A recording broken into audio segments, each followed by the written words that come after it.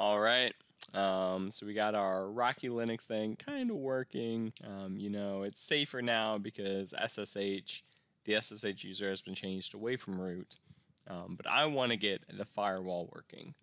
And one really cool thing about uh, Rocky Linux and its, you know, compatriots, so CentOS and Red Hat and De- uh, not Debian, um, but Fedora, is they come with something called Firewalld, and it's really strong and really powerful. Um, so I'm going to use that to configure. And luckily for me, Linode's version of Rocky Linux already has Firewalld up and running. Um, so for an example, if I try to go to the website right now, it doesn't have one. Um, so I'm going to install Nginx real quick and show that the firewall is stopping that.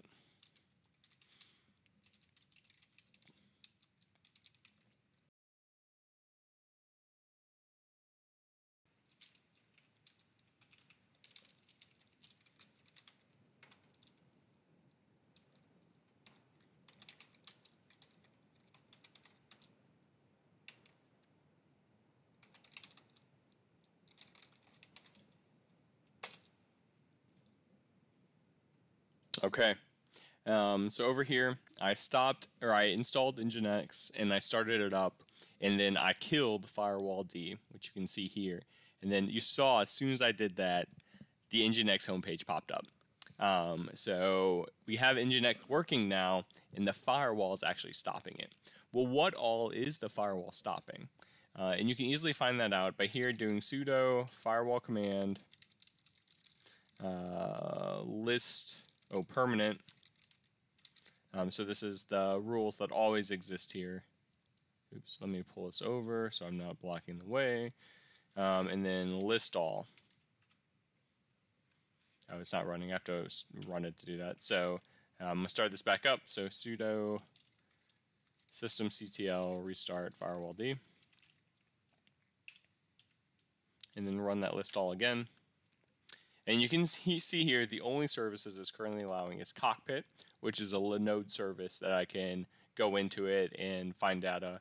Uh, DHCP v6 uh, because I'm running uh, IPv6 on here, and then SSH.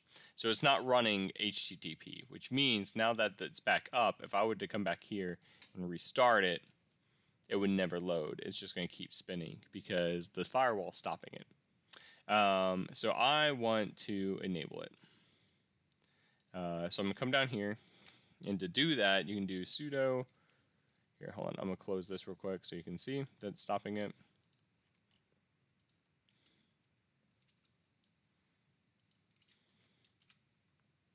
Okay, uh, so I'm to leave that spinning.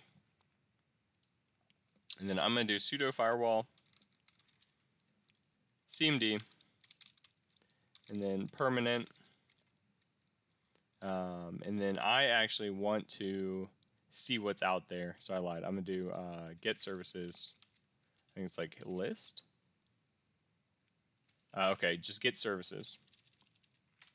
Um, oh, geez. So what this is, is this is a list of all the services that I can put in the firewall by name.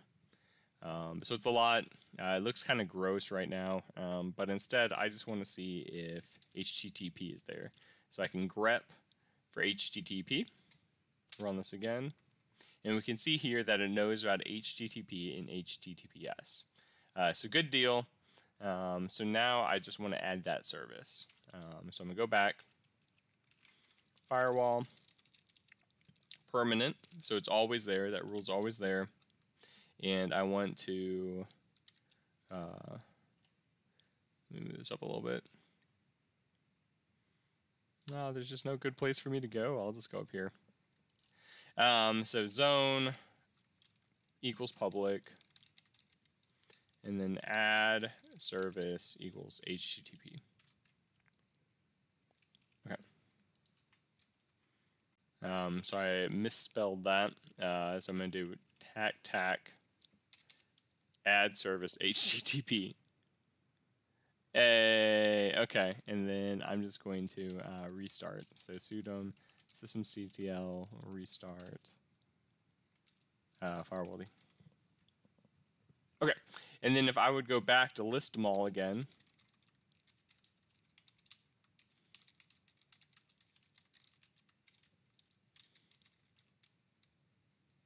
um, I would now see that I have the earlier services and now HTTP, which means if I were to refresh this, uh, it's now up. Awesome. Um, so that is how I would add services to Firewalld.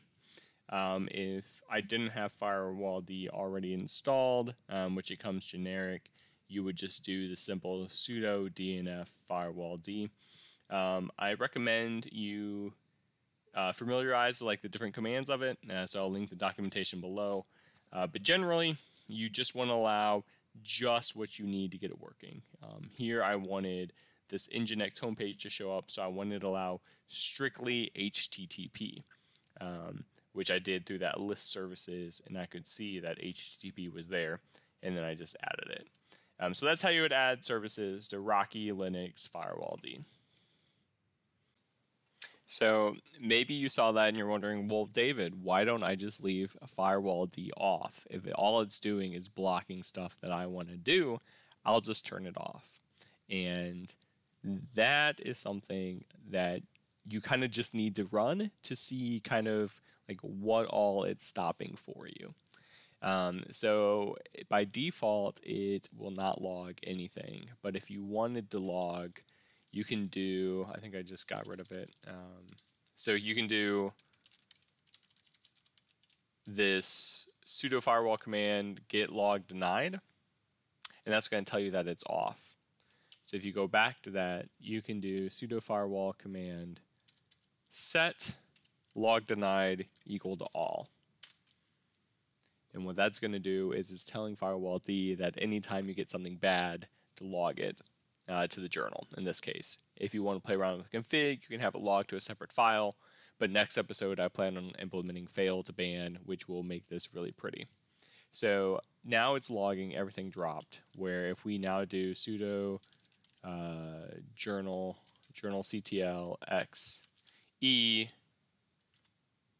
we can see over here all this stuff it's blocking. Um, so we have these people hitting uh, these different IP addresses trying to get in as root. So we see here these final rejects. So that's firewalld uh, kicking them out. Um, let me run this again because I think we'll have a better thing once now it's logging again.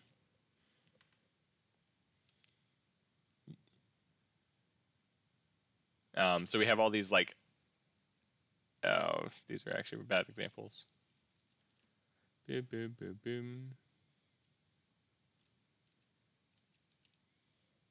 Um, so we have all these final rejects from these IP addresses coming to me because our IP address is .171, which is this destination. So we can here see here these IP addresses from like .154 and .112 and 113 just pinging us constantly. Where if we would have had our firewalld down, they would actually be able to access, possibly access these ports and services that we have hidden in our service. And that's why it's important to keep firewalld up.